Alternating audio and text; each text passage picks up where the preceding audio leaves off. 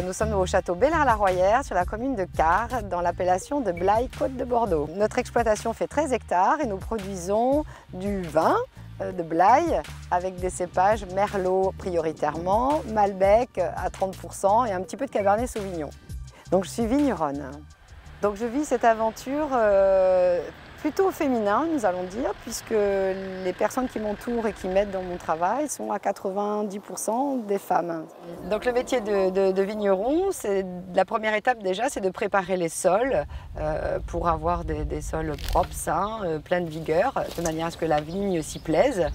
Euh, dès que le mois de fin novembre arrive, que les feuilles sont toutes bien tombées, nous allons commencer la taille de la vigne, ensuite le tirage des bois, à partir du printemps, nous allons plier la vigne, c'est-à-dire nous allons attacher les lattes sur le fil d'attache. Les bourgeons vont commencer à sortir, donc là c'est extraordinaire. Là j'ai le cœur qui palpite à 1000 à l'heure, plus les, mois vont passer et arriver jusqu'à la récolte. Ensuite, nous allons commencer les traitements. Euh, nous sommes en reconversion en agriculture biologique, donc nous utilisons du cuivre et du soufre. Là, nous allons commencer aussi, en fonction de la météo, à enlever, euh, à effeuiller manuellement ou mécaniquement certaines parcelles pour que les raisins puissent voir euh, un peu plus le soleil.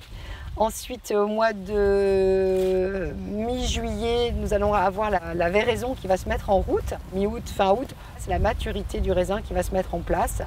Ensuite, au mois de septembre, je fais un prélèvement d'une centaine de graines de raisin dans chacune de mes parcelles et euh, je les amène à l'analyse euh, au laboratoire d'œnologie où là, effectivement, nous allons regarder les acidités, les pH au niveau de nos raisins. Nous allons aussi déguster le raisin et ensuite, c'est avec la météo que l'on décidera si effectivement on repousse les vendanges ou si on les avance ou, si c'est bon le jour J. Voilà.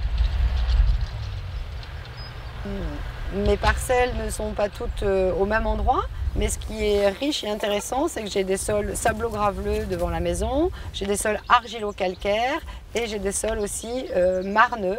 Euh, de ce fait-là, nous avons vraiment des goûts de raisin, des goûts du vin qui sont complètement différents liés au sol. Et c'est vrai que depuis plusieurs années, on est revenu sur du désherbage mécanique, sur des traitements plus light, on va dire, au niveau de la vigne.